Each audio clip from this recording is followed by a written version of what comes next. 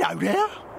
This video is not a true representation of the celebrities involved, and none of them were harmed during the making of this masterpiece, which we want you to get to Christmas at number one.